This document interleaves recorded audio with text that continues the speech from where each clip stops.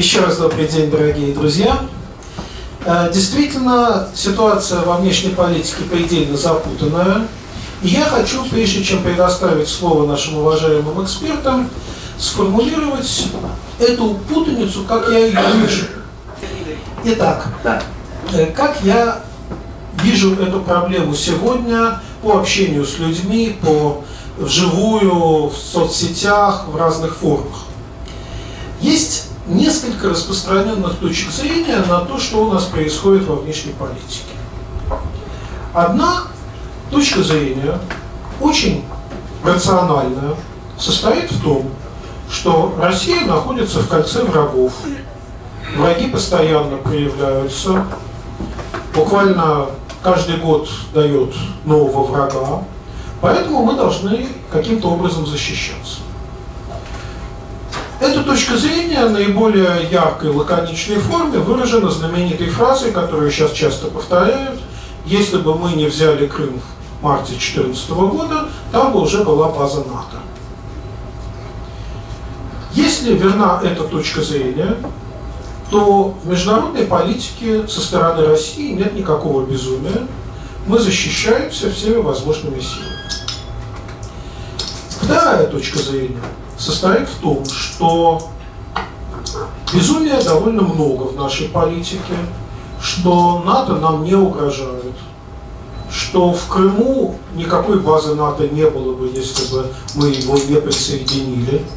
И, собственно говоря, зачем нужна база в Крыму, когда ближайшая страна НАТО Эстония находится в 140 километрах от бара Бакалавриат, где мы сейчас сидим. Любая ракета долетит. А если так, если со стороны России идет какое-то безумие, то значит у нас во главе страны сумасшедший лидер, который делает непонятно что. Причем не просто непонятно что, а он, ссорясь со всем миром, ухудшает наше экономическое положение.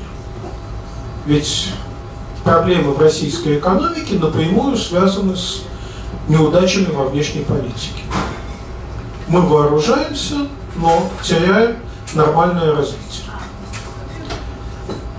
Есть другая разновидность этой же точки зрения. Руководство страны вполне вменяемо, но не вменяем народ. Ну, русские люди вообще сумасшедшие, нас хлебом не корми, только дай повоевать с кем-нибудь. Мы всегда были агрессивной державой, всегда искали себе соперников. Ну и вот сейчас мы влезаем во внешние конфликты, которые, собственно, были толком даже никем и не спровоцированы. Мы нашли такое количество врагов, начиная от Грузии, Украины и кончая Штатами и Англией, какое вообще при всем желании было бы не найти, если вести себя рационально.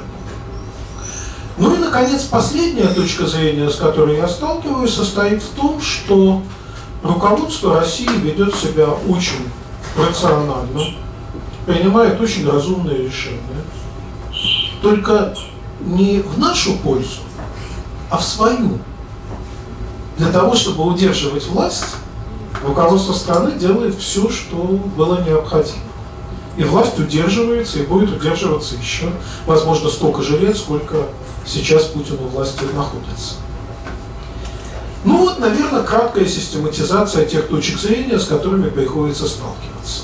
Соответственно, я бы хотел услышать от наших экспертов, от Ивана и от Павла, как они оценивают ситуацию, все-таки что происходит во внешней политике, какая из этих точек зрения отражает реальность, а может есть еще какая-то, которая мне неизвестна, и я ее не упомянул. И, соответственно, хотим, хотим услышать от Ивана и от Павла аргументы в пользу той трактовки, которую они выберут. Ну, я думаю, как обычно, мы работаем минут по 15 первый круг. После этого, возможно, у меня будут вопросы э, к Ивану и к Павлу. Да, Иван начнет, э, после этого, возможно, я задам Ивану вопросы. Пока Иван будет их обдумывать, будет говорить Павел. А затем по второму кругу, ну, еще минут по 5-7 на дополнение. После чего включается зал с любыми вопросами, дополнениями, комментариями.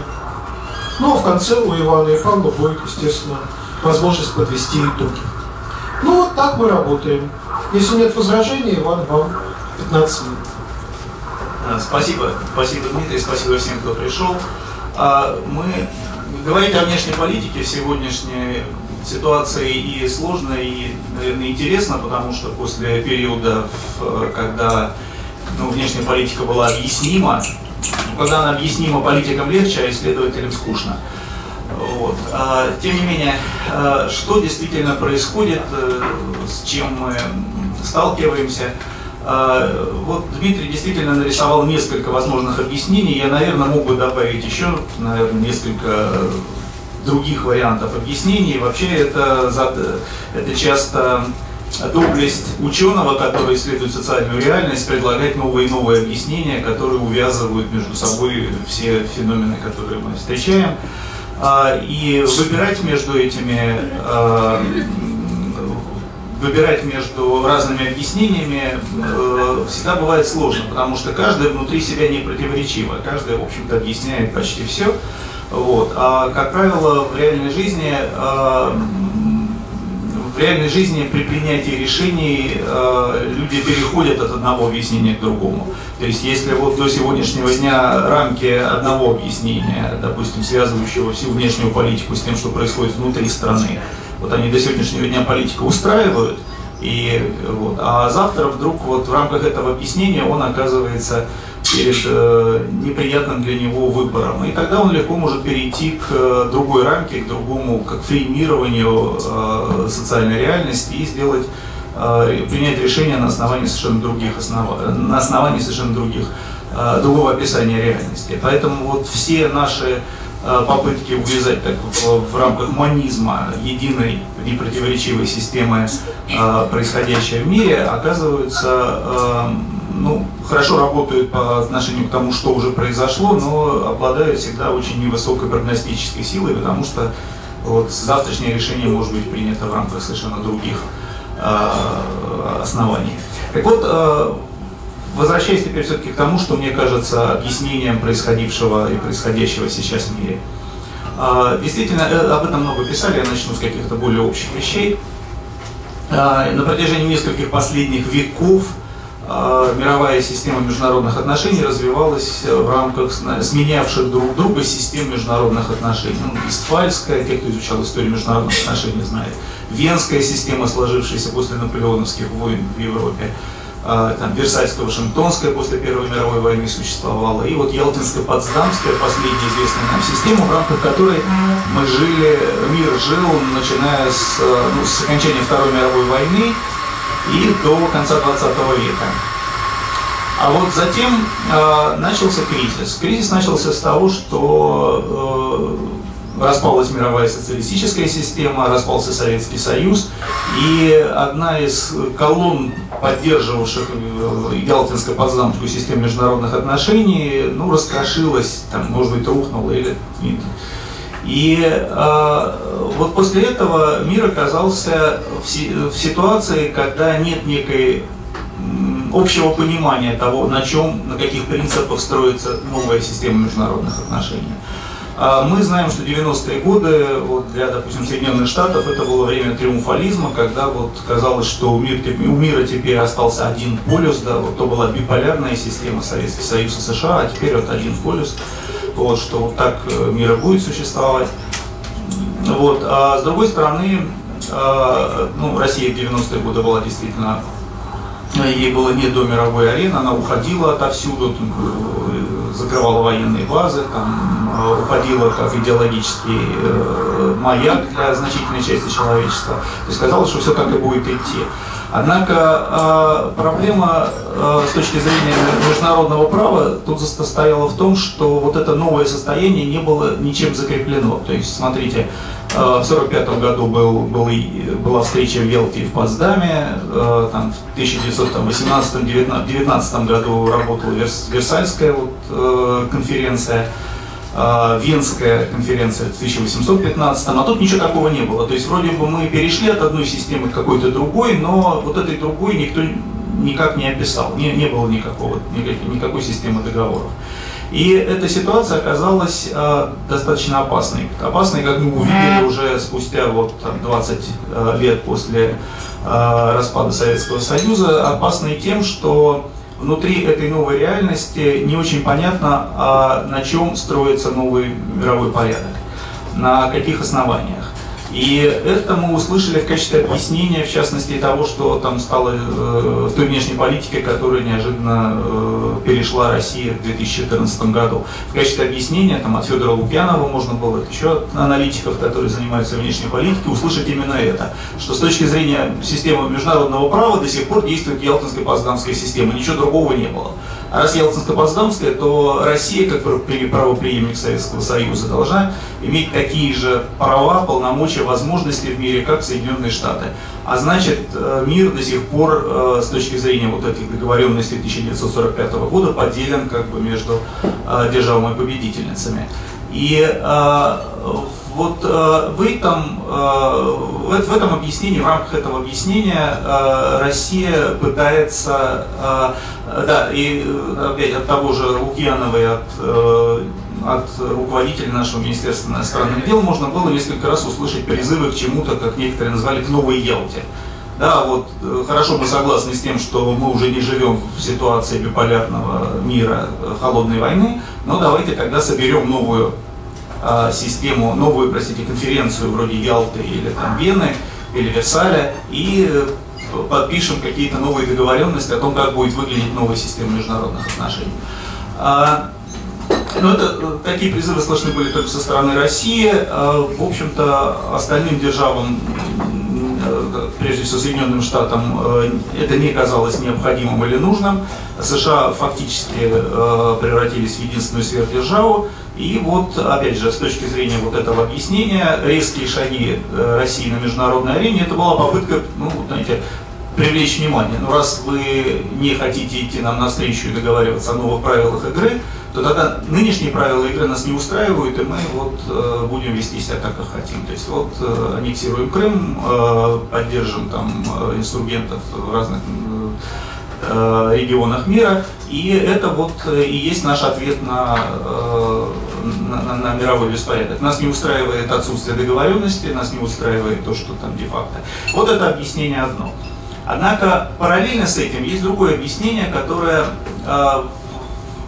диктует, ну, который объясняет э, перемены во внешней политике России, опять же, внутренними, внутриполитическими причинами. Его коротко Дмитрий охарактеризовал, что э, резкие перемены случились, в общем, в скором будущем, в скором как, как близкое последствие э, массовых протестов в России зимой 2011-2012 годов, и они тогда ложатся в такую рамку описания э, изобретения там, российским правящим классом э, новых поводов для там, раскола и объединения, для раскола коалиции, которая выступала против нынешнего режима, и для объединения э, сил, которые его поддерживают. То есть вот э, здесь и поворот традиционным ценностям, и, собственно, вот конфликт с внешним миром, это традиционно известная, описанная еще, знаете, в советских школьных учебниках история в условиях конфронтации с, общим, э, с внешним миром, поддержка э, правящего режима усиливается. То есть э, такой ралли round the flag, да, то есть э, вот э, конфронтация нужна для того, чтобы э, усилить поддержку правящего режима. Это тоже объяснение, которое, в общем, тоже ложится в то, что происходило. А, я не могу выбрать между ними, потому что мне кажется, и та, и другая часть э, объясняют, э, ну, я думаю, что и выбирать они не обязательно надо. То есть э, и то, и то, и другое объяснение на самом деле э, являются частью того, к чему мы пришли. Но э, вот э, говорить о 2014 годе, в 2018 уже э, ну, еще надо, конечно, потому что мы все живем в последствиях того, что произошло тогда. А с другой стороны, мы живем в ситуации, которую уже не вернуть ситуации там, января 2014 года. То есть как, из, из этой ухи уже аквариум не, не сделать. То есть вопрос состоит в том, что делать с сегодняшним состоянием международных отношений, в том состоянии, в котором Россия оказалась э, действительно в конфронтации с большей частью мира. То есть э, мы все видим, что союзников в России не очень много, и они, в общем, не относятся к ведущим державам.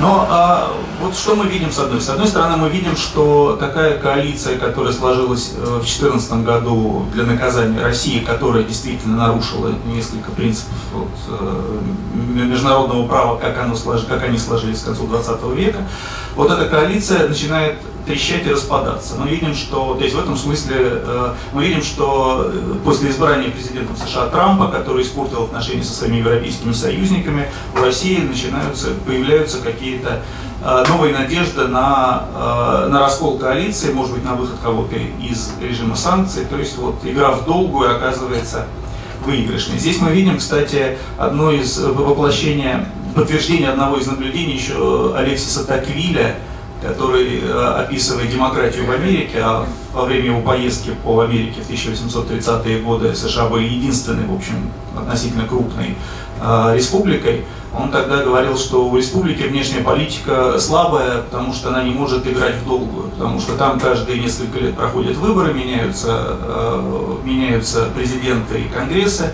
а, соответственно, вот монархии или а, аристократии Э, могут играть в долгую, потому что они планируют на десятилетия, а не на 3-4 года. А тут вот, э, поэтому, поэтому демократия проигрывает всегда внешнюю политику. Это так Виль написал в 30-е годы, и с этим его утверждением спорило несколько поколений в 20 уже веке теоретиков международных отношений американских. Но вот, вот можно сказать, что мы видим в каком-то смысле подтверждение его. Вот э, некая смена политических циклов в Европе и в Соединенных Штатах может привести к тому, что вот та коалиция, которая сложилась в 2014 году, просто станет неактуальной. Вот все то, что было в 2014 году, для нового поколения, это могут быть старые же люди, но просто после каждого избирательного цикла это фактически новое поколение у власти.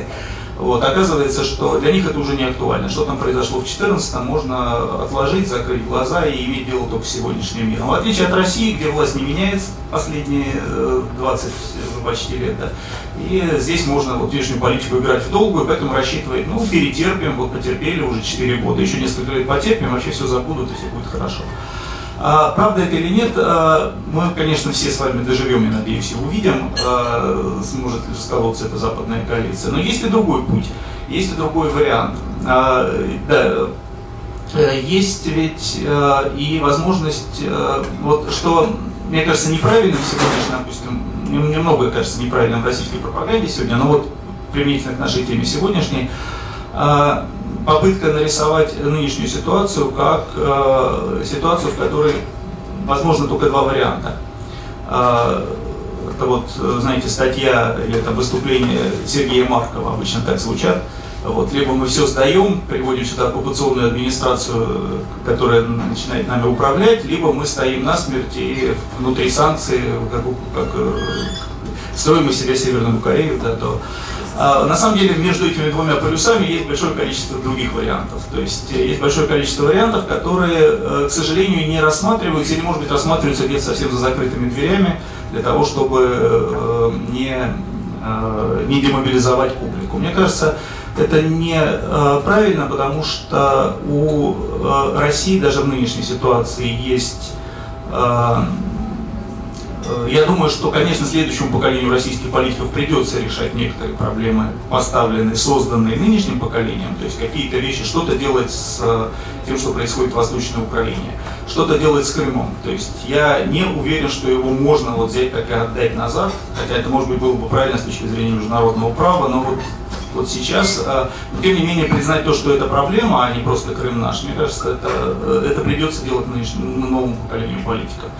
А, есть э, целый ряд других, э, ну, Сирия, которую некоторые считают, что Сирия возникла только потому, что Россия оказалась в изоляции, что у России на самом деле нет там таких серьезных интересов, а, и сирийская операция России началась просто в тот момент, когда Россия ощутила себя в полной изоляции для того, чтобы просто вернуться за стол переговоров. И с этой точки зрения сирийская операция российской армии оказалась успешной просто потому, что после этого с Россией снова стали разговаривать. Вот, а больше ни для чего Россия, России Сирия не нужна. Вот а, с Украиной другое дело, понятно. А, и так или иначе, новому поколению политиков придется это дело решать. Однако а, даже уже нынешнему поколению, а, мне кажется, а, было бы важно, если исходить из интересов долговременного развития страны, искать, а, искать возможности а, для искать контакты, искать выходы из изоляции. И здесь я вот, как раз мои 15 минут заканчиваются, я хотел бы снова исторические примеры привести. Меня э, часто спрашивают, вот то, что сейчас происходит, похоже на холодную войну, на начало холодной войны или нет. Я считаю, что скорее нет. То есть, если можно, конечно, найти общее, э, как бы что-то общее с периодом конца 40-х, начала 50-х, но мне кажется, что гораздо больше то, что происходит сейчас э, во внешней политике, похоже с ситуацией начала 1920-х годов. Э, то есть тот период, когда в России произошла революция, э, в России установился новый революционный режим, который ничего не, ну, очень многое не признавал, ни с точки зрения внутри, там, собственность иностранных держав там, внутри страны, ни с точки зрения международного права. И э, вот на протяжении почти 10 лет, а некоторые страны и дольше, э, мир не мог понять, что делать с Россией. И Россия была вот тоже в дипломатической изоляции. Борьба за выход из э, международной изоляции в 20-е годы была главной задачей там, Советской Республики. И Соединенные Штаты, как мы помним, признали СССР только в 1933 году, когда уже сами оказались глубоко в экономическом кризисе, и когда тоже сменилось поколение, пришел Рузвельт, который, в общем, совершенно с другой повесткой дня. Так вот, а что было в 20-е годы важным для России? Конечно, важно было выйти из дипломатической изоляции, но что получилось? А, получилось, что дипломатическую изоляцию пробивали гораздо дольше, чем экономическую. И а, вот эти великие стройки первой пятилетки происходили еще в условиях, когда многие западные страны не признавали советский режим, США не признавали советский режим, в это время большое количество американских технологий, американских инженеров работало в России, технологии покупались. Вот э, в этом смысле, мне кажется, если искать в истории похожий период, то наиболее похожим на сегодняшний день будет э, период 1920-х годов. А, а отвечать на вопрос, кто виноват, ну, я считаю, что ну, взвешивать вину, я считаю, что виноваты, есть вина и на России, и на западных странах. После, начиная в 2014 году понятно, что резкое движение совершила Россия. А, объективную ситуацию сделали такой, загнали там Россию в угол уже общими усилиями. А, но если мы говорим не о э, поисках виноватого, о том, как выйти из сегодняшней ситуации, то вот поиск виноватого оказывается э, тупиковым, оказывается той, той вещью, которая мешает нам думать о том, э, как перейти из сегодняшнего дня в завтрашний. Вот э, в этом смысле, мне кажется, стоит говорить о том, что можно делать, э, как перестать видеть в Западе врага, как э, сделать так, чтобы на Западе э, видели в России не только угрозу. Вот это главные задачи, которые стоят перед там, руководством России, может быть, даже перед академическим сообществом, которое пытается описать нынешнюю ситуацию. Вот как-то так я это вижу, по-моему, 15 минут. Спасибо большое вам.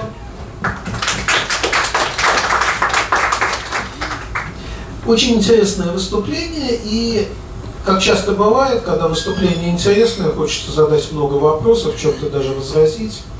Ну вот у меня два или три вопроса оформилось, и прежде чем я предоставлю Павлу слово, я бы хотел сразу их сформулировать.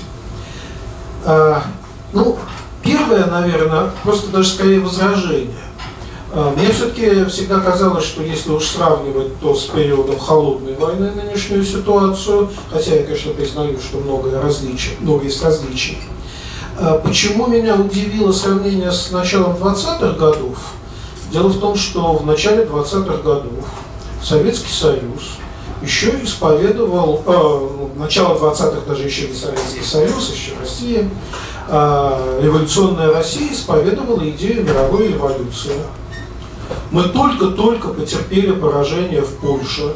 Армия Тухачевского прорывалась через Польшу в Германию, чтобы сделать мировую революцию, чтобы вообще никаких капиталистических стран не было. И чтобы, как писал несколько позже один известный советский поэт, от Японии до Англии сияла Родина моя. Так, представьте себе, от Японии до Англии. В этой ситуации э, Советская Россия, конечно, в глазах Запада выглядела явным агрессором, а в ситуации нынешней, ну, мне кажется, все-таки вот такой явной агрессивности в действиях Путина не подозревает даже самый, что ни на есть, э, заклятый ястреб где-нибудь в Соединенных Штатах. Вот, поэтому, может быть, Иван потом уточнит свою позицию Затем у меня такой вопрос, а, ну, может быть, самый короткий, но при этом, может быть, он самый сложный. А, мне очень близка ваша позиция относительно того, что надо признать Крым проблемой, надо, по крайней мере, начать решать эти проблемы. И э, конечно, нельзя смотреть на жизнь так, как смотрит Сергей Марков, который, конечно, э, ну, чаще посмешищем является среди экспертов, чем коллегой, с которым что-то обсуждают. Но, тем не менее, ну хорошо, допустим, завтра вот кто-то из нас президент, и мы сказали, все, признаем, что есть проблема Крыма. Ну и что дальше? Отдать Крым невозможно по понятным причинам. Либо, может быть, можно, но мне пока непонятно как. У Запада четкая позиция, что пока Крым не сдадите Украине, санкции на вас по-прежнему висят. И, и куда мы двинемся? Так что здесь, может быть, вы несколько развили свою мысль дальше вот признания этой проблемы. Ну и последний вопрос, может быть, такой более академический. Смотрите, там, захотите ответить или захотите нет. А, Все-таки мне не совсем понятно, как можно вот два объяснения, которые вы дали, увязать э, вместе. А, с одной стороны, было объяснение у Ивана, что мы пришли к такой ситуации, потому что э, российское руководство считает, что э, Ялта по-прежнему действует, и если Запад не хочет как-то вести с нами переговоры о какой-то новой Ялте, то мы делаем, что хотим. А с другой стороны, ну, для того, чтобы решить внутренние проблемы, взяли Крым, и Путин получил огромный рейтинг, который не исчезает. Э, в принципе, да, возможно, где-то в голове у Путина сидит обе проблемы. Но, опять же, я хочу перевести на очень конкретную э, линию этот вопрос. Когда Путин брал Крым, к нему приходили самые разные эксперты и говорили, Владимир Владимирович, все понимаем там, и так далее, но если мы это сделаем, у нас посыпется вся экономика, вся, все инвестиции не будет. Ну, то есть вот прогнозировали мы именно то, что и получилось. Это нетрудно было спрогнозировать, если ты квалифицированный эксперт. И если Путин стоит на позиции э, мы делаем, что хотим, но все-таки не на зло маме уши отморозим, то тогда он должен был задуматься и не брать Крым. Ну, все хотим, но как-то в пределах разумного. А если для него было главным э, получить высокий рейтинг любой ценой, пусть путем развала российской экономики, тогда, конечно, он таких экспертов не слушает. И вот мне кажется, что все-таки как-то или-или, а не то и то. Вот три таких моих вопроса. Значит, э, да, я попробую ответить на вопросы.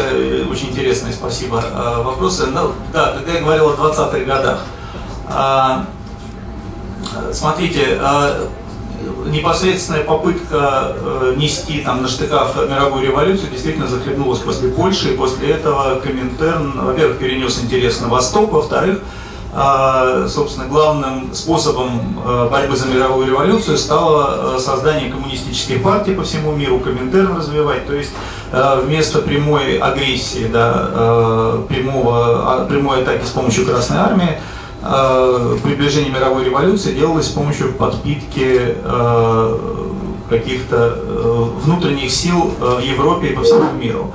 В этом смысле некоторые параллели сегодняшним днем можно увидеть, и э, попытка найти союзников э, в Европе для сегодняшней России тоже вот среди каких-то радикальных, только если в 20-е годы левых, то сейчас скорее правых партий э, существует.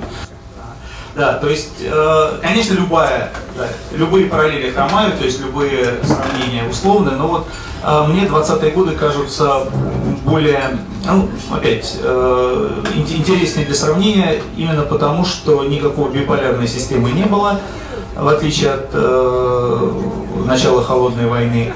А главное, что э, тогда э, Россия оказалась в кольце, в отличие, опять же, от начала 50-х, в кольце врагов или в кольце, в кольце стран, которые на, ее рассматривали как нарушители всяческих конвенций. То есть это вот э, после Второй мировой войны Россия была, в общем, Советский Союз был одним из столпов нового мирового порядка э, держава победительница, постоянный член Совета Безопасности, и конфликт происходил в рамках вот этих новых систем, созданных в Ялте. В 20-е годы в 20-е годы Россия была исключена из Версальских системы договор, договоров, договоров, и поэтому она, в общем, то есть в этом смысле, мне кажется, 20-е годы более похожи, хотя я согласен, конечно, не во, не во всем похожи. Не было в прошлом полного повторения того, что сейчас происходит, иначе бы вообще история всегда все-таки что-то нам приносит новое, развивается куда-то.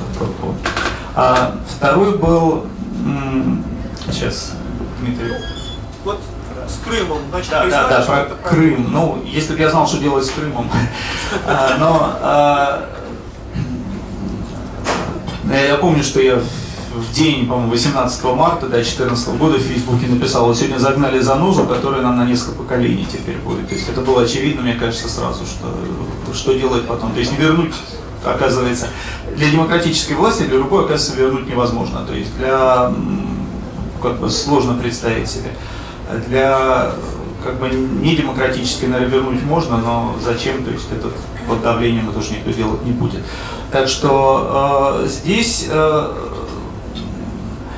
признание того, что там есть проблема, мне кажется, важно для некой нормализации отношений. То есть это можно признать не с позиции слабости, а с позиции, э, ну, с позиции слабости, да, да, будет продолжаться давление. Оно в любом случае будет продолжаться. Но тем не менее, признание проблемы позволит какие-то особые договориться об особых, особом порядке э, и для жителей э, региона, которые, кстати, страдают, в общем, частично от того, что они там живут, э, фактически ограниченных правах да, международных. А, и страдают, э, страдает Украина, страдает Россия. В общем, что-то надо делать, может быть, какое-то совместное, э, совместное создавать там системы не знаю, автономию, автономии Крыма. В общем, я не, у меня нет ответа, что делать с Крымом. Но делать вид, что такой проблемы нет, мне кажется, еще хуже. То есть это вот одна из проблем нынешнего нынешнего российского руководства это э, в том, что э, отказываться э, от признания каких-то проблем, отказываться от признания того, что проблемы существуют. Мне кажется, что для нынешнего руководства это э, знак что они показывают силу, вот мы так сильны, что мы не признаем того, что эта проблема есть. А мне кажется, что это признак слабости, а признание проблемы не означает, что мы немедленно готовы ее решить на чьих-то чужих условиях. Нет, мы готовы обсуждать, мы готовы, возможно, что-то делать для того, чтобы выйти из этой ситуации. То есть признание проблемы означает готовность России, России э, работать над этим. Работать можно долго. Вот. Не, не готов сказать, что, э, что можно что-то что можно что-то сделать быстро. Опять же, это уже уха, а не аквариум, но не, нет ответа. Но не признавать, не признавать это тоже неправильно, потому что ну, есть проблемы. Знаете, слово, э, а, слова нет, а, а, а проблема есть, да, вот как в том детском, детской стишке или песенке. А, и третий был... Третий вопрос все-таки как совместить два Да, как совместить. Вот тут, мне кажется, это то, с чего я попытался начать. Это как раз самое начало моего выступления было о том, что э, когда мы как аналитики описываем действительность, мы вот э, описываем ее в рамках там в рамках того, что называется реал-политик, например, или в рамках конструктивизма, или с точки зрения внутренней политики. И каждое из этих объяснений внутренне не противоречиво. А, а когда политики э, действуют в рамках этих систем, они легко переходят от, одно, от одного одной рамки к другой. То есть в данном случае э, я уверен, что э, да, побудительным мотивом могла, могли стать внутренние проблемы и вот то, что о том, что решил сказать, побудительным мотивом. Но вот то, о чем говорят сейчас э, там, идеологи внешней политики Кремля, оно тоже имело место. То есть это не придуманная и не придуманная отхок там ситуация, это ситуация, которая действительно существовала.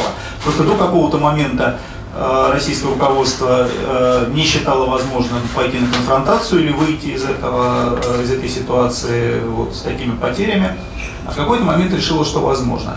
То есть э, вот это всегда существует в всегда существует в мировой э, политике, не только мировой, наверное, внутренней тоже, но сейчас мы говорим про международную политику, э, что э, всегда существует целый веер объяснений и целый веер возможных решений, возможных решений, что можно сделать. То есть в одной и той же ситуации можно было объявить Советский Союз империей зла, а потом сказать, что нет, это, в общем, хорошая страна, которая развивается в правильном направлении. В принципе, в одной и той же, с международной точки зрения, мало что изменилось между там, 82 годом и 85 или 88 когда Ленин отказался от своих слов. Внутри СССР, да, многое стало меняться. Так? Э, э, Еще меньше менялось, например, э, когда Никсон пришел к власти, пришел в Белый дом в 68 году, да, 69-м, э, и начал политику разрядки с Брежневым. То есть Советский Союз не сильно поменялся между 68 и 70 годом, а российско-советско-американские отношения поменялись очень сильно. А, то есть в одной и той же ситуации любая страна дает во внешний мир большое количество сигналов, не один только сигнал. И ее можно описать, ее внешнюю политику можно описать с помощью разных, э, сделав упор на разных там, аспектах. Когда там в 2008 году случилось российско-грузинский грузинский конфликт, помните, а, то первая реакция, опять же, того же Белого дома была очень резкая, негативная. Но в США прошли выборы, пришел Барак Обама и начал политику перезагрузки, в общем, с тем же руководством российским, которое было. То есть президентом оставался Медведев, премьер-министром оставался Путин, но на Россию посмотрели по-другому. И, в общем, политика перезагрузки некоторое время выглядела успешной. Ну, года четыре, по меньшей мере, потом все испортилось. Но э, так или иначе, э, вот нет э, единой схемы международных отношений, э, внутри которой акторы действуют э, в соответствии с заданными ролями. То есть в том-то и дело, что акторы все время ищут другое объяснение, которое сделает их положение более выгодным. То есть если в рамках какого-то объяснения системы международных отношений ты свое положение ощущаешь как ущербное, проигрышное, то задача э, задача описать мир по-другому. Я как конструктивист сейчас говорю, я понимаю. Но задача политика состоит в том, э, если он не может переломить там вот э, путем, не знаю, масштабной войны, то задача переописать мир таким образом, чтобы добиться того, чтобы мир стал смотреть на тебя другими глазами. Переописать мир таким образом, что то, что ты делаешь, окажется, э, ты окажешься во главе мирового развития, а не в отстающих. Вот, а, и это то, чем занимаются политики. Они перепрыгивают с одного объяснения к другому, если они считают, что новое объяснение лучше э, отвечает их, их э, задачам. То есть э, российское руководство в 2014 году могло описывать ситуацию в одних терминах, в 2018 году в других терминах, но и мировое сообщество в 2014 году и в 2018 описывает мировую ситуацию в разных терминах. Можете посмотреть, что говорят европейцы что говорили в 2014 году, что говорят сейчас, это уже не, одно, не один и тот же мир, это разные описания. Не очень, может быть, не кардинально отличающиеся, но они меняются.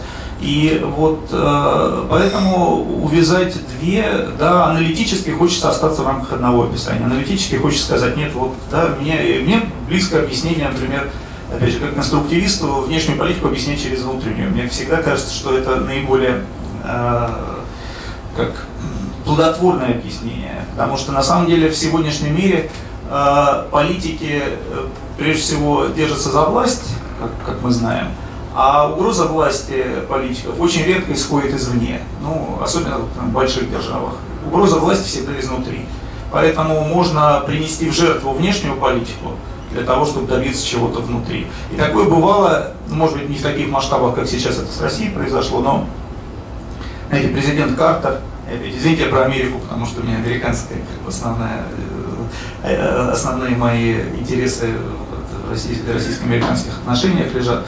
Так вот, Картер в 70-е годы принес в жертву э, разрядку международной напряженности, которую вот Никсон добился, э, сближение с Советским Союзом, даже снижение ядерной угрозы ядерной войны, все это было принесено в жертву, э, потому что для Картера гораздо более важным было Э, повернуть внутри страны общественное мнение, возродить в американцах веру в себя. В середине 70-х годов США переживали очень масштабный кризис. Там сразу Уотергейт, поражение во Вьетнамской войне, экономический кризис. То есть все это надо было как-то преодолеть. И Картер э, для того, чтобы преодолеть этот кризис и выйти в главе нации обновленной, да, а, пожертвовал разрядкой, потому что для него вот он вдруг разрядку все отбросил и стал критиковать э, Советский Союз с точки зрения морального, морального превосходства Соединенных Штатов. Потому что никого другого, кроме морального, не оставалось. То есть в военной сфере потерпели поражение во Вьетнаме, политическая система после Уотергейта гордиться было особо нечем. То есть, а чем тогда еще США? Вот морально США выше, чем Советский Союз. Для него не так важна была разрядка. То есть, казалось бы, ну такой большой отход от холодной войны, такое большое достижение предыдущего президента, ну, через одного там форт еще был. И тем не менее для Картера было важнее его внутриполитические цели. И внешней политикой легко пожертвовал. Сейчас мы видим жертву внешней политики еще более масштабную для того, чтобы сохранить власть. То есть вот это объяснение, мне кажется, наиболее близким, но вот это альтернативное или другое объяснение того, что происходит во внешней политике, отбросить нельзя. Если бы этого не было, было бы сложнее вообще э, объяснить, что происходит. Э, то есть было бы не то, что сложнее объяснить, а э, как сказать, вот э эта ситуация создала возможность для подобного нарушения мировой политики, для подобных нарушений международных соглашений, которые, на которые пошла Россия в 2014 году. То есть э, вот те шаги, которые российское руководство предприняло на протяжении 2014 года, были облегчены тем, что мировая система была устроена так. Может быть, непосредственно причиной этих шагов была внутренняя политика России, но для того, чтобы они могли быть совершены, внешняя политика, то есть мировая политика должна выглядеть была вот именно таким образом. Как-то так. Спасибо, спасибо большое. Ну, удобно, но очень интересно. Все по делу, все содержательно. А тем более у нас появилось больше времени, поскольку злобные силы лишили нас связи с Пермью, поэтому э, мы здесь с Иваном одни остались. И мы тогда сейчас так сделаем. Я все-таки э, еще пару вопросов на уточнение задам. Мне хочется, чтобы Иван некоторые мысли свои развил, после чего уже вы все подключаетесь. Здесь я по очереди буду говорить, по, поскольку проблемы разные, то не сразу два вопроса задам. Первое, вот о том, о чем сейчас Иван говорит. Знаете, мне вот эта вот ситуация напомнила э, хорошо известную со школьных э, наших времен историю. Приходит мальчик домой, там Вовочка какой-нибудь, с двоечкой. И надо как-то папе это объяснить, чтобы не получить по заднице. И Вовочка думает, давай-ка я сконструирую проблему несколько по-иному. И скажет, папа, это не я двойку получу, это учитель ко мне придирается, он несправедлив, он мне, двойку поставил. Вот, по-моему, Россия сегодня примерно в такой ситуации. В отношениях между папой и сыном, очевидно, это может привести либо к временной победе сына, если папа впечатлительный, ну, до следующей двойки, либо до родительского собрания, на котором все прояснится. Либо, если папа не впечатлительный, то может еще сильнее по заднице ломить за то, чтобы не конструировал э, внешнюю с учителем политику вот таким сложным образом. Э, к чему я это все клоню? Э, клоню к следующему. Вот здесь я хотел бы э, комментарий Ивана получить. Вот у меня складывается так, такое ощущение – а, может быть очень упрощенная. Я не специалист по внешней политике, и я плохо представляю, что творится в недрах Министерства иностранных дел или там, тех депутатов, которые в международных комитетах у нас. У меня такое впечатление складывается, что люди, занимающиеся внешней политикой, у нас все-таки делятся на вменяемых и невменяемых. Вот есть какие-то невменяемые, которые считают, что мы сейчас из американцев выбьем новую Ялту, но эти люди в России не принимают решения. Это такие демагоги, которых мы очень часто можем слышать. По телевизору, там где-то интервью они дают. Но это, ну, их наускивают на врага, просто чтобы вот они громко лаяли, и как-то в атмосфере лая легче было решать реальные проблемы тем, кто их реально решает. А вот что касается Путина, мне кажется, что он вполне реалистичный человек – и он не представляет себе возможности создать какую-то новую Ялту. Вообще я от него пару раз слышал просто фразу, что сегодня в мире есть одна супердержава. Это Америка. Мы не претендуем на это. Но у нас есть интересы и так далее, так далее. То есть позиция очень вменяемая такая. И вот у меня такое ощущение возникает, что Путин все-таки решает в первую очередь свои внутренние проблемы и блестяще решает. Мы видим уже, что после 2014 года он так закрепился в руководстве страны, что еще долго там просидит. Ему ничего не угрожает. Вот, то есть он очень прагматично, реалистично решает свои проблемы. А то, что у нас будет заноза, как э, Иван справедливо сформулировал еще 4 года назад, на долгие-долгие годы, ну, Путина не очень волнует, еще Людовик XV говорил, после нас будет потоп. И вот что будет после путинской эпохи, по-моему, их мало волнует. Вот насколько я прав, вот, или, или не прав. Все-таки очень важно, принимают решения у нас люди ответственные или фантазеры типа этого Вовочки есть в числе людей, принимающих решения. Спасибо за метафору, за сравнение. А, знаете, может быть, а, дело именно так и происходит. А, проблема в том, что нету папы, который бы там вломил или разобрался. То есть Вовочка рассказывает про свои э, проблемы вот, людям, которые не могут его наказать. Вот. Папы могли бы быть, я не знаю, избиратели ответственные, которые вот, не поверили бы, переизбрали такого президента. Но, к сожалению, эта система не работает таким образом. То есть нет вот, э, авторитета, который, перед которым в данном случае отчитывается э, бомбочка условный. А что касается э, э того, насколько реалист э, Путин. Ну, смотрите, с одной стороны, да, мне кажется, там есть такая здоровая доля цинизма в отношении ко всем идеологиям, ко всем объяснениям, которые происходят. Есть такое понимание голого интереса.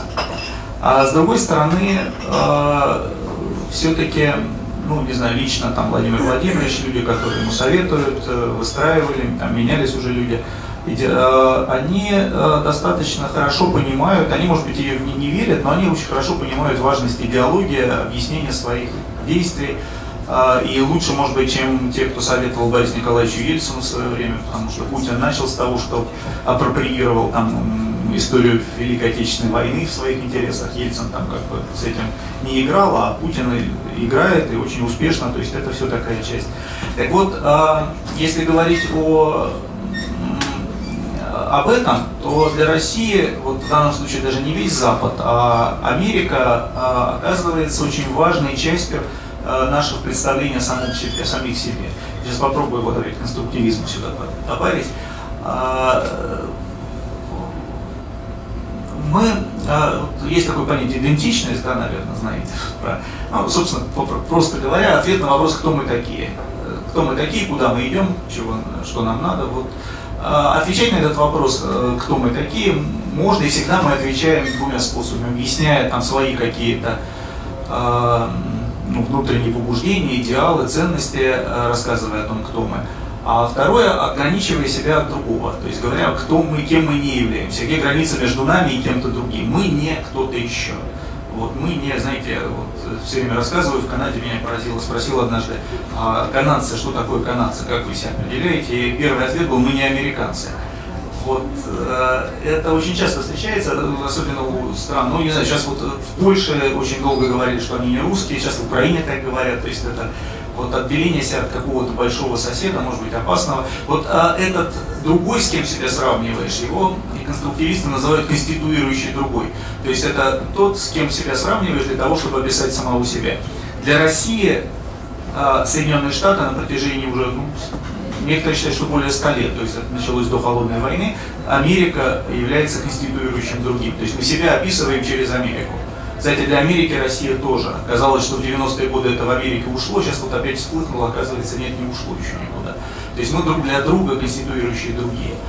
То есть мы, для нас описание Соединенных Штатов является описанием нас самих. То есть мы описываем другого для того, чтобы показать, кем мы не являемся.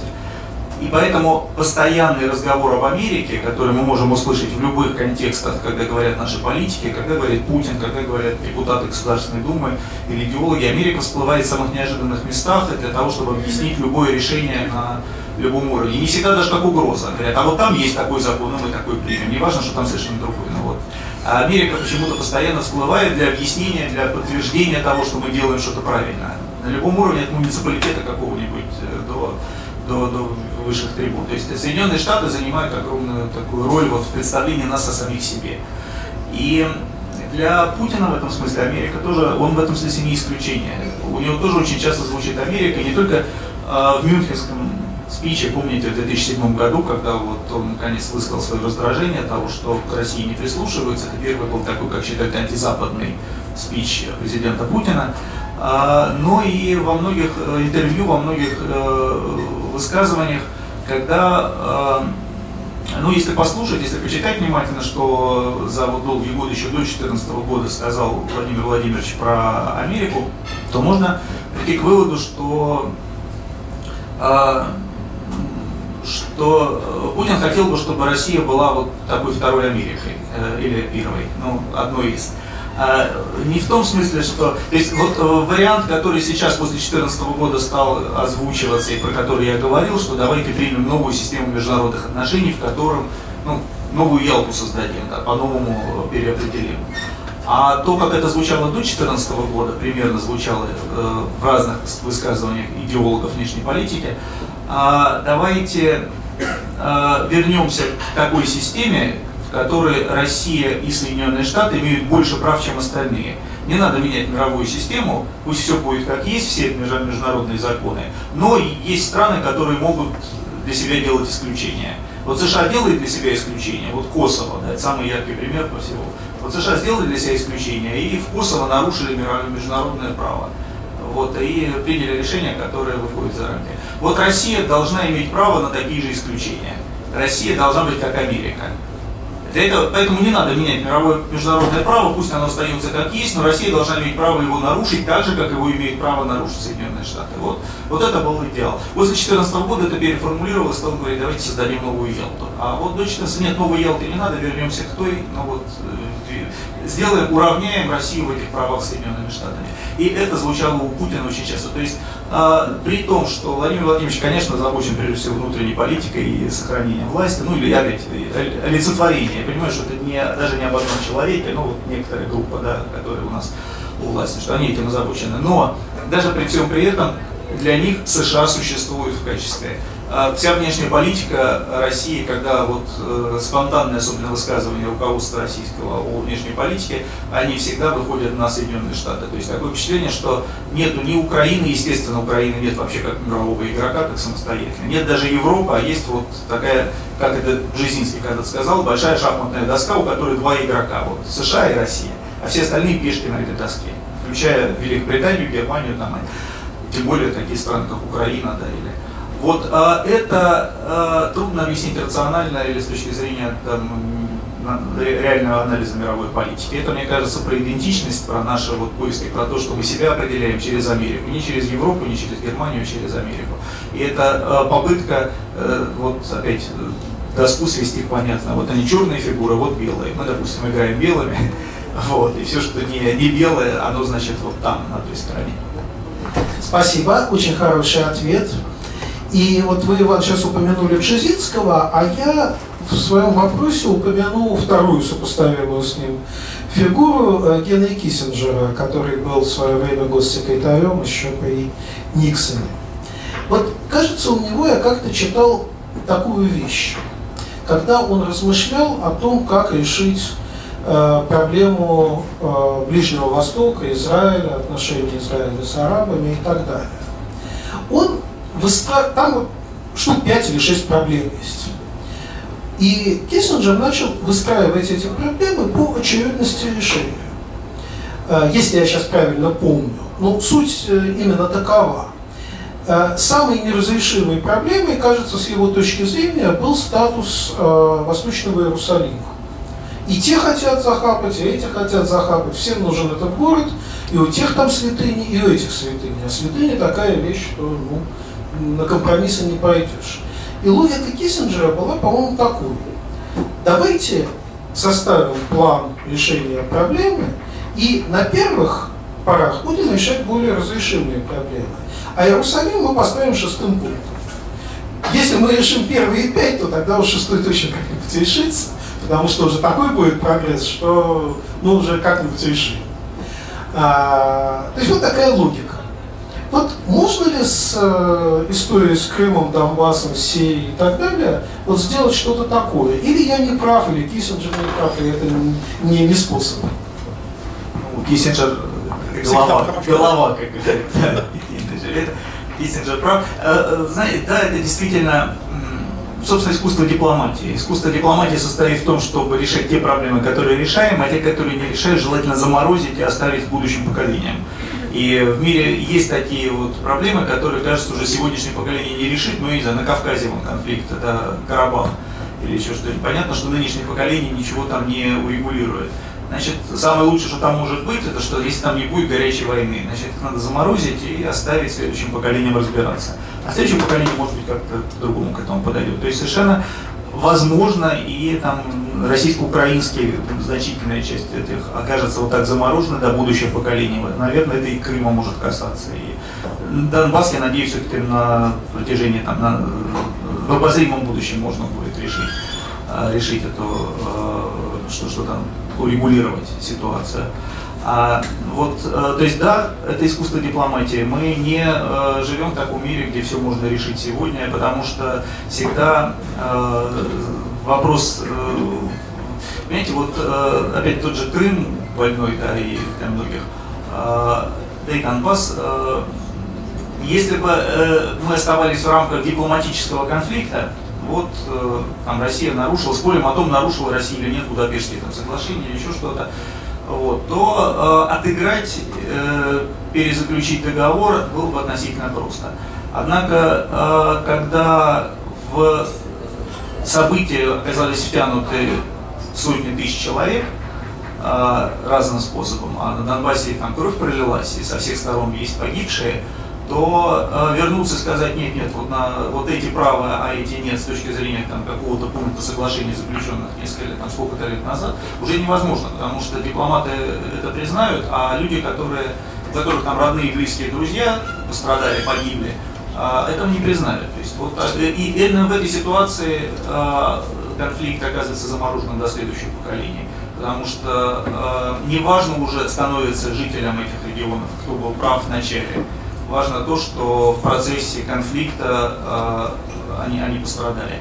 И убедить или как-то вот, то есть вот, вот это надо иметь в виду. И в мире, к сожалению, много такого, такого рода конфликтов. Собственно, все конфликты, которые иногда начинаются в кабинетах где-то дипломатических, не всегда, иногда они прямо на земле тут начинаются, они э, по мере своего развития втягивают большое количество людей, у каждого из которых появляется собственный рассказ о том, что произошло, собственный нарратив, да, исторический, если хотите, а, в котором вот есть враги, которые их и и потом дипломатам при урегулировании приходится иметь дело не только с нарушенными там, параграфами или с новым соглашением, но и вот с этими нарративами, с людьми, которые там живут.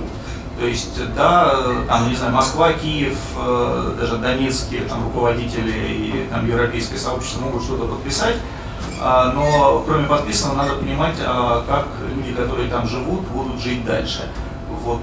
И, и это самое сложное на самом деле. Это самое сложное, потому что дело уже не вышло за рамки. Просто нарушение там, международного права, если они состоялись.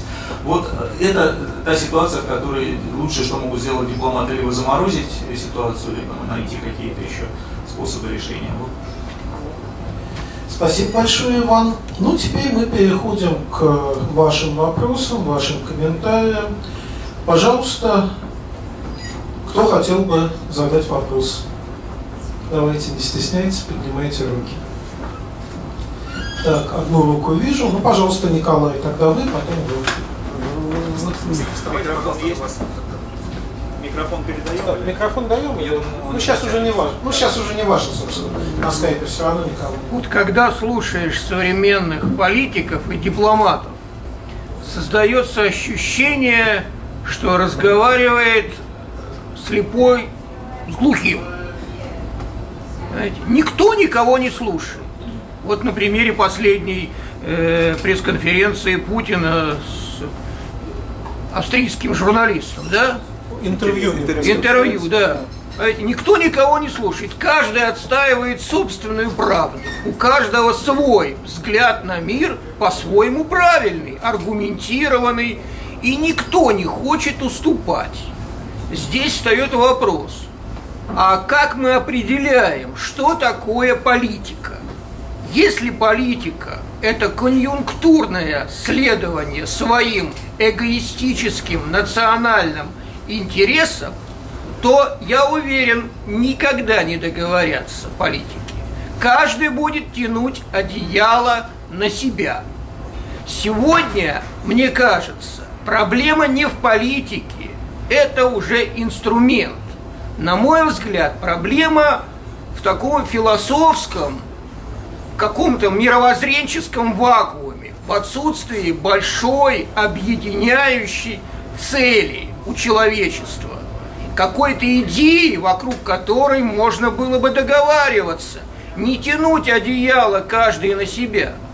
Вот пока этой большой, общей, человеческой идеи, цели не будут, не будет, до тех пор, мне кажется, политики никогда не договорятся. Каждый будет отстаивать свою правду и тянуть одеяло на себя. Спасибо. Спасибо. Спасибо, очень интересно. Тут есть два, мне кажется, важных, с моей точки зрения, два, два, два важных, важных составляющих в том, что вы сказали. А, во-первых, ну, я бы даже согласился с вашим определением, и не повторю его, но с вашим определением политики как эгоистичной такой деятельности, где каждый тянет одеяло на себя. А, но э, здесь есть одна как бы, надежда в этой ситуации. Надежда в том, что э, ну, история показала, что кооперативно можно добиться большего, чем вот, э, преследуя эгоистичные интересы по то есть оказывается, что когда в Европе нет войн постоянных, то Европа в целом развивается быстрее, чем когда постоянно воюет между собой. То есть оказывается, что компромисс э, в интересах э, даже собственного эгоизма. То есть можно уступить. То есть это вот такие уроки истории, которые, надеюсь, политики понимают, хотя и не всегда. Но, в общем, конечно, каждый политик тянет одеяло на себя. Я думаю, что это в основе любой политики лежит. А вот что касается перспектив, тут вы меня Э, подталкиваете говорить к, как историка, опять же. Э, есть такое понятие презентизм. Вот его, э, его использовали раньше, в последние годы его предложил французский исследователь, такой Франсуа Арток, описывая современное состояние общества. Как раз то, о чем вы говорите. Он говорит, что вот когда-то, пишет Арток, а, когда-то в древности золотой век был позади. То есть люди развивались, оглядываясь на то, что было когда-то вот в прошлом хорошее. К сожалению, каждое новое поколение все дальше отходит от идеала, но вот этот идеал где-то в прошлом. А, в новое время а, идеал оказался впереди, то есть появилась идея прогресса, что весь мир развивается к чему-то лучшему, и впереди появились разные варианты утопии или разные варианты идеального устройства человечества. Это может быть там была либеральная демократия у кого-то, это был коммунизм у кого-то, но в любом случае какое-то в будущем вот состояние общества, к которому мы стремимся и развиваемся. И человечество шло по этому пути прогресса. Так вот, Артук считает и некоторые другие исследователи, что вот как раз на рубеже 20 простите, 21 века, то есть вот сейчас, недавно совсем, а, человечество пришло в ситуацию, когда больше не осталось этого идеала ни в прошлом, ни в будущем. То есть человечество живет только в большим настоящим. То есть прекратилось, мы, не, нет больше представления о том, что есть впереди некое светлое будущее, к которому мы все развиваемся. Вот мы есть настоящим. И из этого э, очень много э, таких есть логических и политических последствий, это как принимаются решения, как смотрят на прошлое, как, кстати, историки работают, или вернее, как, чего политики ждут от историков, и чего политики ждут от, э, от, от сегодняшнего дня. То есть во многих странах, не только в России, мы часто говорим, что в России исчезло представление о будущем. Это правда, то есть вот мы не, не очень понимаем, а чем, что мы строим. Или, даже мы не, уже ничего не строим, понятно, но во всяком чего мы хотим, как, какой будет страна через... Вот, вот эти планы, там, которые были 2020, 2030, они, в общем, не представляют какую-то картину будущего, к которой бы кто-то стремился. Вот хорошо, когда впереди был коммунизм. Или хорошо было, когда в перестройку думали, что впереди демократическая, вот, свободная Россия. А сейчас вроде ничего такого впереди не, не осталось. Остался сегодняшний день. А, но а вот поскольку я процитировал Артуга, оказывается, что подобные, может быть не в таком масштабе, но подобные ощущения есть и в Европе, что это не только российское исчезновение будущего, что вообще вот э, история закончилась, или как там когда-то написал Фукуяма, да, история, конец истории наступил, и, в общем, дальше развитие остановилось. Это общая проблема. И договорятся ли политики, я не уверен, что это дело политиков или философов, ну, может быть, дело философов, действительно, но это, это состояние сегодняшнего человечества, которое можно назвать тревожным. Почему оно пришло в такую ситуацию? Здесь тоже есть разные точки зрения, но я не хочу, мы уйдем от темы дня, потому что мне есть что сказать, но я боюсь, что это отдельная тема. А если, если чуть переформулировать вопрос Николая, а, вот во внешней политике а, было всегда два подхода. Ну, я сильно упрощаю, конечно. Один – реальная политика. У нашей страны есть свои интересы, мы эти интересы преследуем. Поэтому сегодня у нас этот союзник, завтра тот союзник, исходя из реальных интересов. А второй – построение политики, основанное на неких ценностях. Ну, допустим, Венский конгресс. Хуже революции ничего нет. Поэтому вся Европа объединяется для того, чтобы пресечь новую французскую революцию или революцию в каких-то там других странах. Это после наполеоновских войн, я напомню. Вот, может быть, вопрос Николая так поставить, можем ли мы перейти с американцами и всеми прочими от следования принципам реальной политики к пониманию того, что у мира есть какая-то общая проблема, ну тогда это было предотвратить революции, а сегодня, может, какая-то другая есть такая проблема, которая нас могла бы с американцами объединить, и мы перестали бы пихаться локтями ради решения этой общей проблемы. Может быть, э, Ким Чен Ын нам создает такую проблему. Он, конечно, мелковат, но там, глядишь, Иран на подходе, еще кто-нибудь.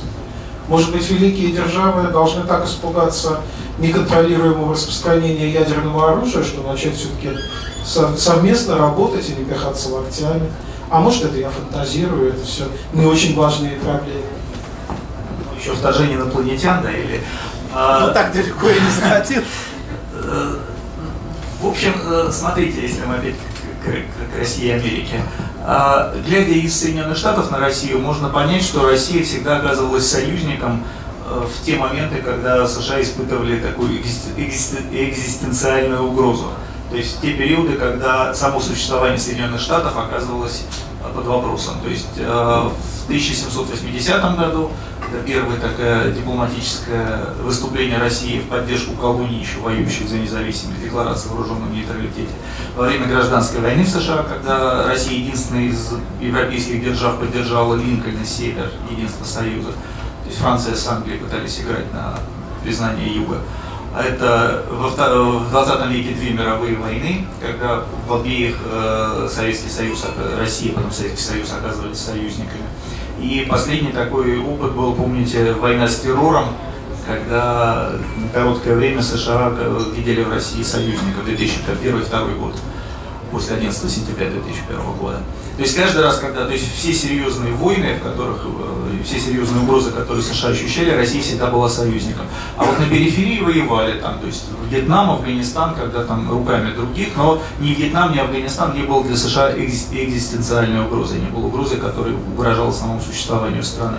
Но, тем не менее, то есть в американском взгляде на Россию есть такое. То есть, да, условно говоря, есть, будет угроза, но угроза должна быть экзистенциальной. Ким Чен, Ким Чен не, не, не, та, не та угроза еще для этого.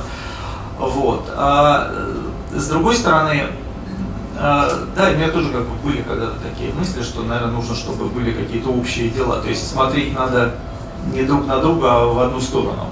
То есть не для того, чтобы отношения улучшались, надо не только вот, общаться э, по поводу взаимных там Э, упреков или проблем, а решать какие-то общие проблемы, общие для человечества. Но вот общие для человечества пытались предложить, но со времен вот, угрозы ядерной войны ничего сопоставимого не появилось. Но климат, да, изменение климата, которое не все признают, вот Трамп не признает, и поэтому э, тоже угрозой такой, которая бы объединяла, не бывает.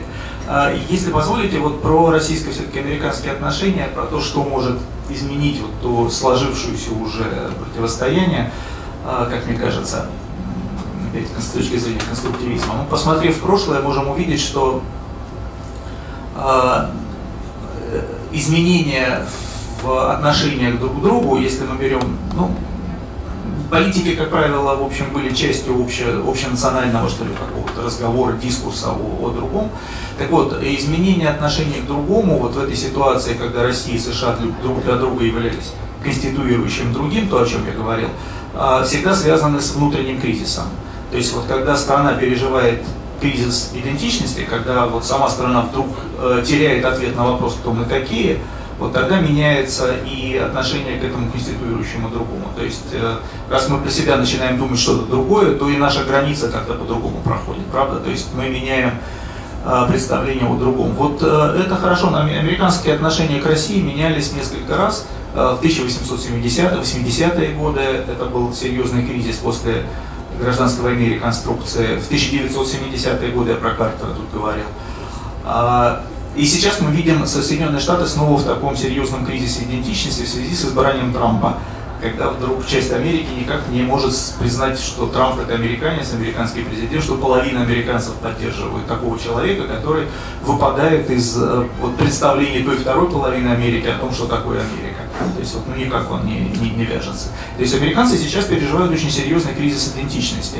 И, как всегда в случае с кризисом идентичности, вот этот конституирующий другой вдруг становится предметом дебатов. То есть вот эти споры о том, не Россия ли посадила Трампа, это споры вообще-то о себе, это споры американцев о том, кто они такие. То есть вот это, это, это споры внутренние, которые всегда привлекают э, вот, конституирующего другого, потому что он часть, часть их представления о себе. Так вот, а, в перестройку и в начале 90-х годов Россия переживала очень глубокий, как мы понимаем, кризис идентичности. То есть крах Советского Союза, это, конечно, ответы на вопрос, кто мы такие, у нас все, все рухнули предыдущие ответы. Это был период, когда Россия готова была, когда русские стали хорошо относиться к американцам, когда Россия вдруг готова была и дружить с американцами надолго, на всю жизнь. То есть вот этот кризис идентичности у нас тоже совпал с переоценкой того, что такое Соединенные Штаты.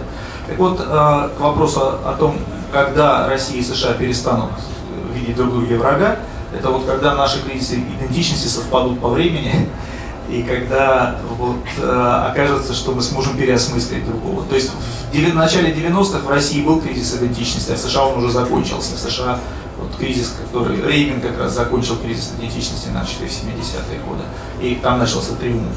То есть Россия готова была изменить отношения к США, оттуда не было интереса. Вот сегодня мы видим кризис идентичности в Соединенных Штатах. Вот вокруг, борьба вокруг Трампа, она, конечно, сейчас приводит к сильному росту, росту антироссийских настроений в американской прессе, в американской политике. Она точно так же может, может привести к э, сильному росту там, любви к России, если какие-то изменятся, если из России будут соответствующие там, сигналы, как вот во времена Рейгана, который начал с того, что объявил Советский Союз империей зла, а закончил тем, что подписал там кучу соглашений, сокращающих оружие и подружился с Советским Союзом.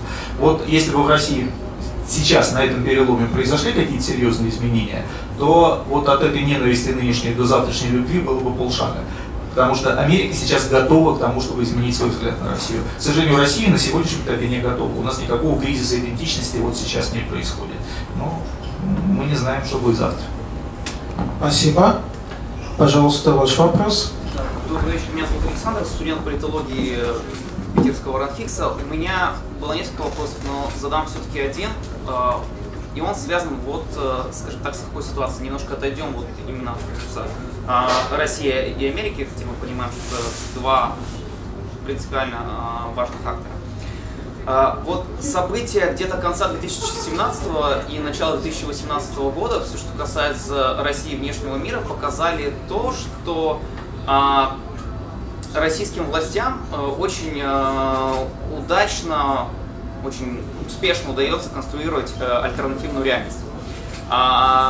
На каких примерах это хорошо видно? А, по-моему, в январе или начале февраля стоял вопрос об участии а, частной военной компании «Вагнер» э, в, в операции в Сирии, что там погибли э, э, российские граждане. Россия все отрицала, нет, там никого не было.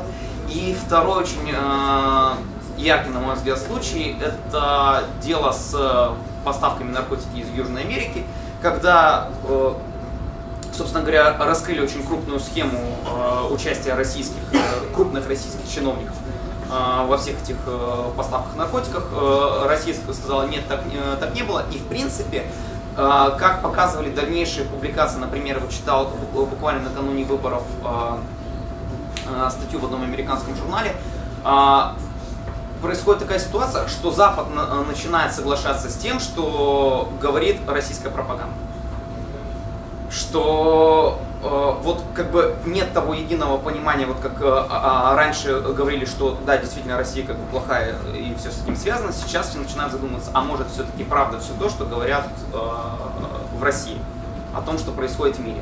Вот э, вопрос у меня заключается в том, насколько эффективно вообще, э, э, насколько можно говорить как бы о конструировании вот такой э, другой реальности э, нашими властями и э, если э, все-таки этот феномен существует, можно, э, что может привести к тому, что вот эта стратегия перестанет работать, если она все-таки существует?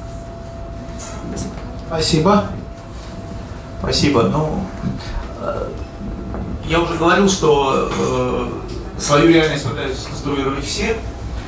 А, и насколько это эффективно. Ну вот я не очень следил, правда, чем закончился этот кокаиновый скандал, как там действительно сошел, да, на нет. Вот. Но может быть, если следить, там что прочитали бы. Вот. А, но смотрите, вот а, именно в силу того, что ну, знаете, что произошло? 2014 год Россия там нарушает принципы каких-то международного права, совершает резкие телодвижения, которых давно никто не делал, и это вызывает очень шквал критики России. Потом выборы 16 года в США, американская пресса сходит с ума и начинает как бы, писать о том, что, ну, условно сходит с ума, и начинает э, писать о том, что Трамп это вообще чуть ли не русский шпион, а вообще все сделала Россия. И э, интенсивность э, текстов о России и их количество превышает, э, ну как бы, мы можем объяснить почему, в общем, понятно, почему превышает какие-то рациональные пределы. И э, с этого момента Россия теряет всяческую субъектив, субъектность, да, то есть э, ей на нее вешают, в общем, все, э, любое, как бы, все, что происходит там, в Соединенных Штатах, все, что происходит плохого в Европе, связывают с Россией. Может быть, Россия в чем-то из того, что происходит, участвовала. Я думаю, что ей не хватило бы сил и ресурсов участвовать во всем, что ей приписывают, ну, даже если бы она хотела.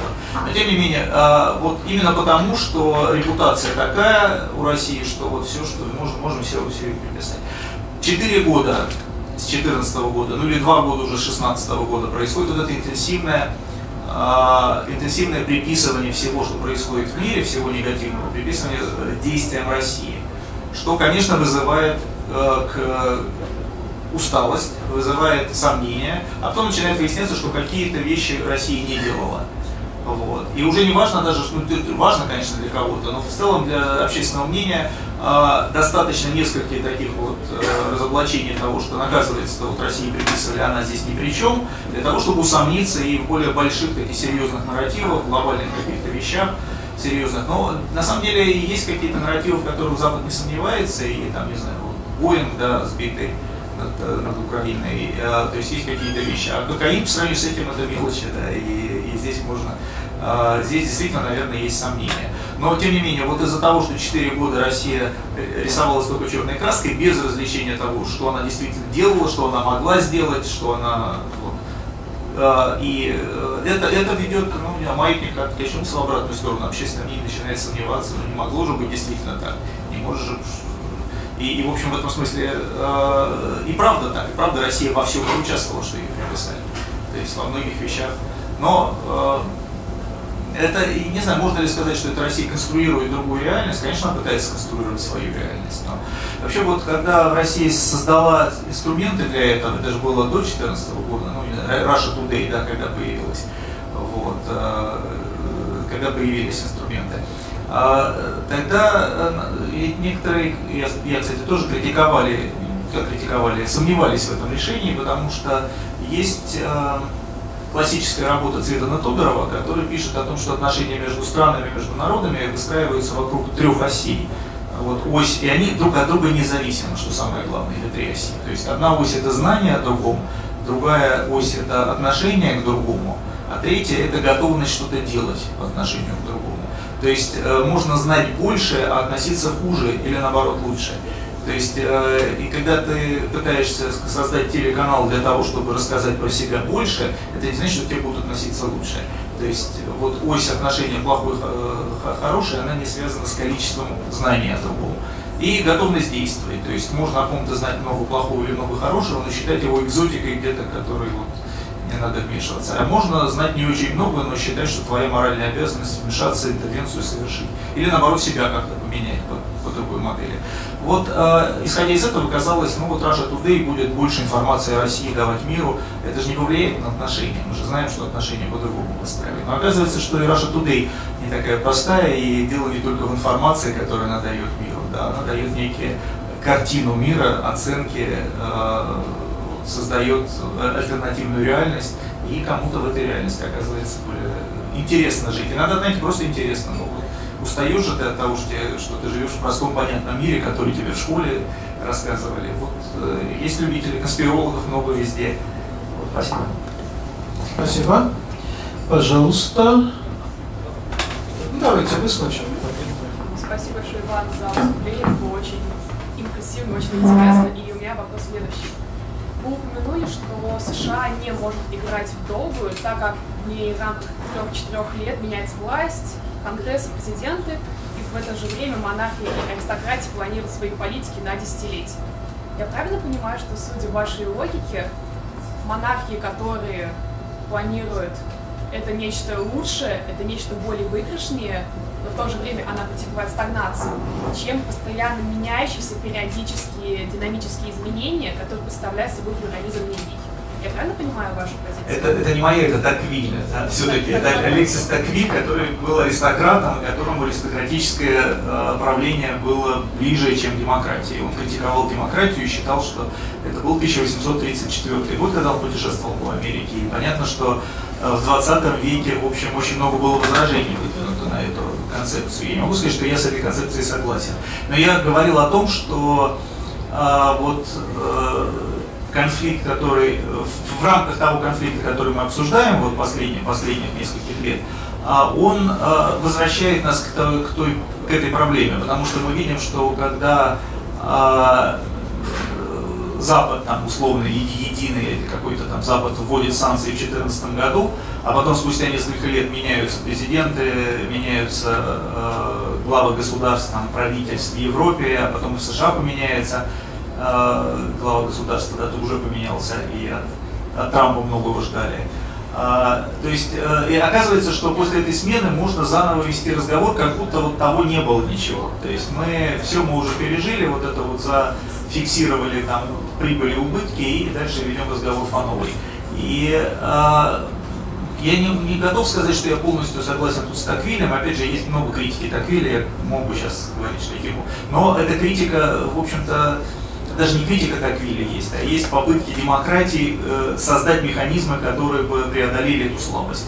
То есть демократии признают, что такая слабость существует. Поэтому во многих и США, и в Европе есть э, механизмы э, поддержания какого-то там двухпартийного консенсуса по внешней политике, как США говорили, что вот что партии не спорят о внешней политике. На самом деле спорят. Но вот на протяжении какого-то времени оказалось, что то есть, были попытки преодоления этой слабости, тем не менее слабость, она существует, она где-то там лежит в основе демократии. Но это не значит, что, что монархия вообще лучше, чем демократия. Просто демократии, как правило, стараются не воевать, там мы знаем эту теорию демократического мира друг с другом.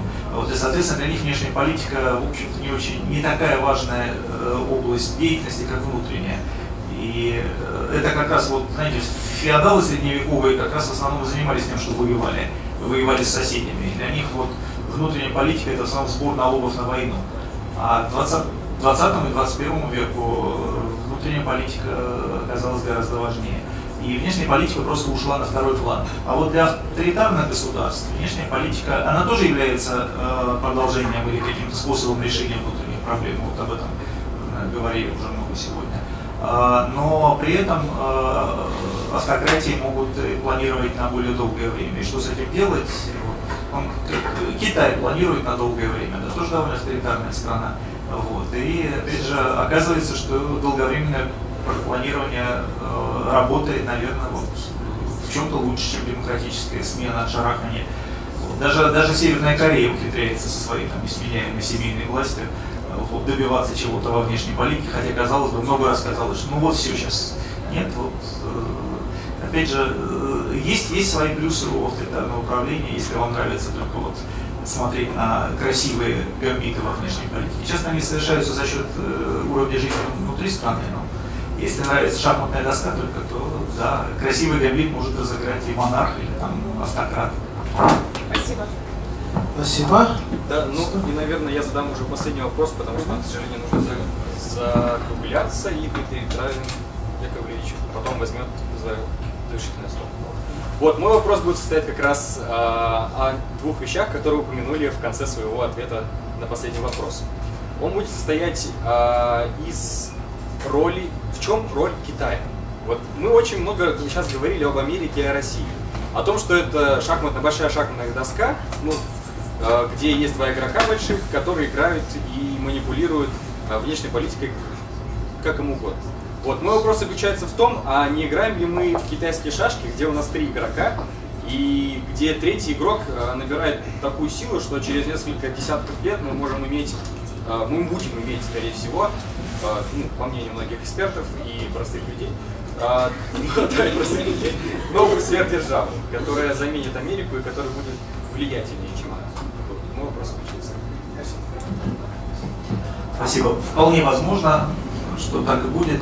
Здесь, а, может быть, и нет. То есть есть, э, есть факторы, сдерживающие такую перспективу. Тем не менее, это, это возможная ситуация. Знаете, здесь интересен э, спор, который вот в 2016 году было возник в Соединенных Штатах, потом при, при заглох, когда Мир Шаймер напечатал статью как раз о том, что хватит уже э, хватит уже сосредотачиваться на России. Россия это вчерашний противник, а завтрашний противник Китай – и давайте вот перейдем к обсуждению того, что там происходит, и выстраиванию каких-то... А потом опять вернулись к России, опять про Китай забыли, и опять стали. Потому что э, Россия это привычный другой для Соединенных Штатов, который привычно, э, по отношению к которому накоплено там за 100 лет, за 200 лет даже, э, накоплены какие-то формулы, дискуссивные какие-то описания, которые очень легко всплывают в политическом употреблении, и всем понятно, что говорят, когда говорят про Россию, о чем говорят. Это не всегда справедливо по отношению к России, но это всегда понятно любому американцу, что значит российская внешняя политика. Вот русская внешняя политика, и что такое, они друг друга там внутри э, таким образом клеймят. Вот, вот эта политика там, губернатора какого-нибудь штата, это русская политика, потому что русские так себя ведут. То есть это вот можно увидеть на протяжении столетий. То есть это готовая, готовая формула. А по отношению к Китаю ничего подобного не было. Китай в 19 веке описывали, если Россию в 19 веке, когда тут сформировались эти описания, описывали политологи, и Россия была очень интересным примером, который можно описать с помощью европейского политического языка, того же, что используют в Европе и в Америке, но в рамках этого политического языка это радикально вот такая консервативная самодержавная сила.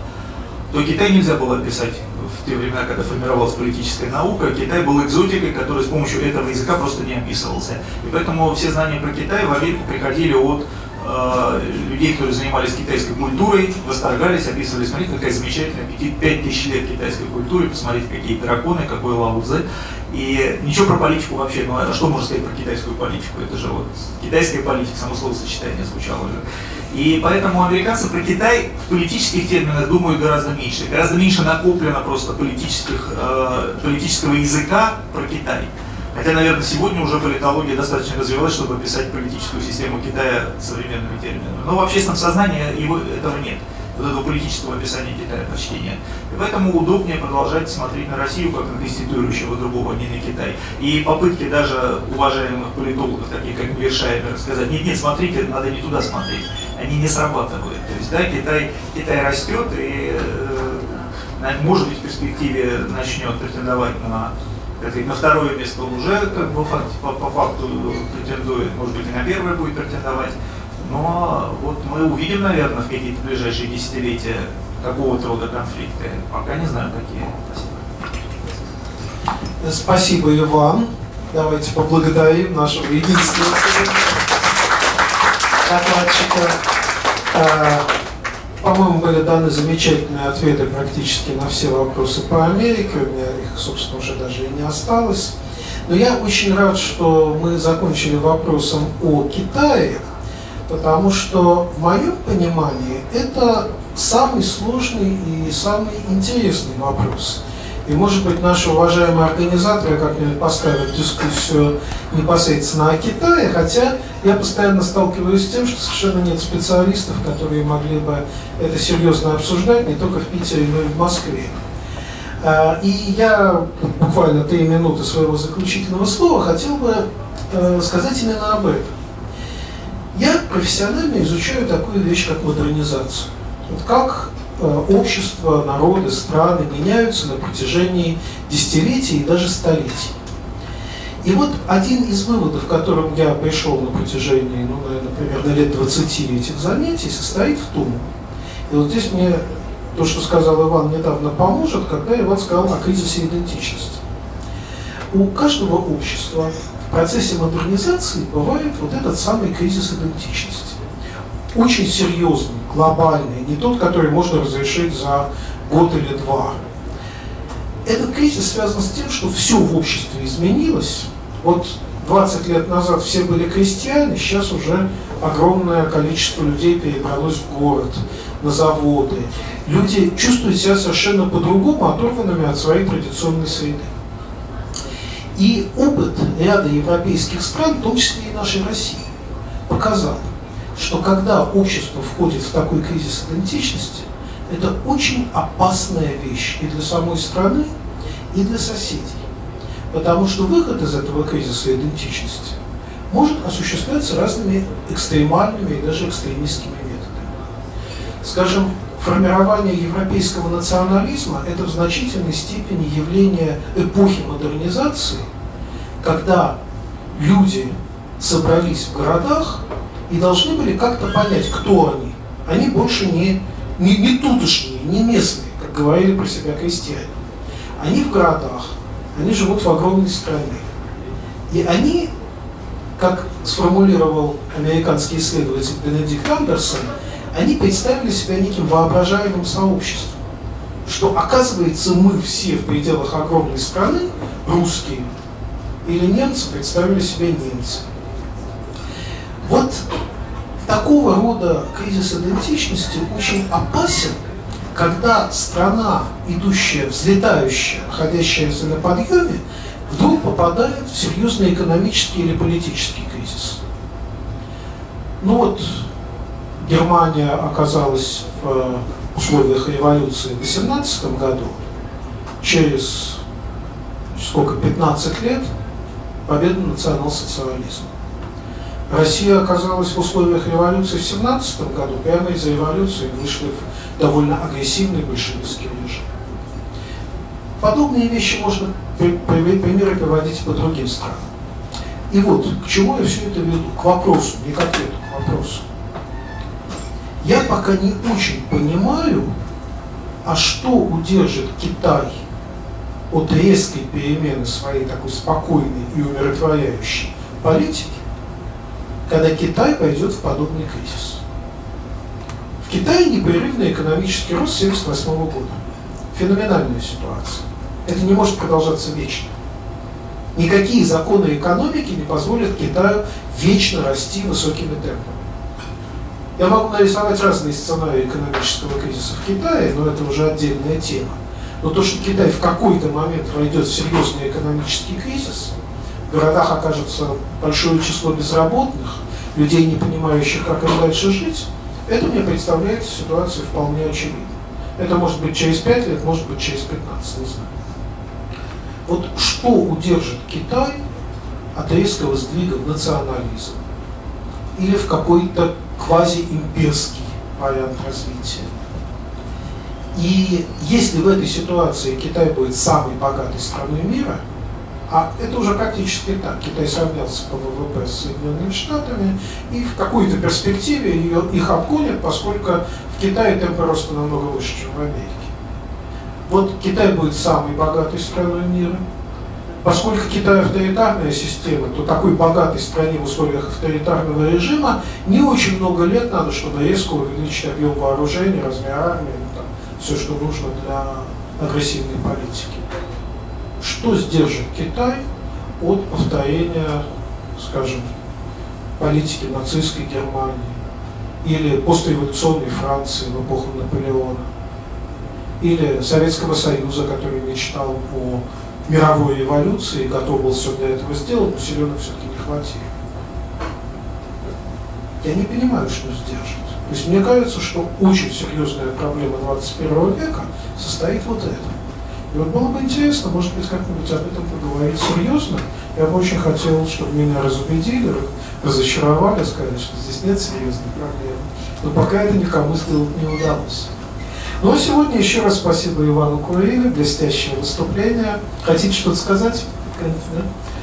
Ну давайте. Сказать только спасибо да, Дмитрию еще спасибо всем, кто пришел, за интересные вопросы, потому что, вот, а, к сожалению, Европейский университет уже год живет без студентов, и это плохо, потому что нет аудитории не с кем поговорить. Вот одно дело писать тексты, статьи, даже писать в Facebook и получать там какие-то лайки, а другое дело разговаривать, отвечать на вопросы в аудитории. Вот э, спасибо организаторам за то, что пригласили, я надеюсь, что Европейский университет вернет свою лицензию, и мы будем встречаться и со студентами, но, может быть, продолжать встречаться и с вами, с более как бы широким кругом людей, которым интересна политика, интересно э, состояние общества у нас в стране, в мире. Спасибо большое. Спасибо.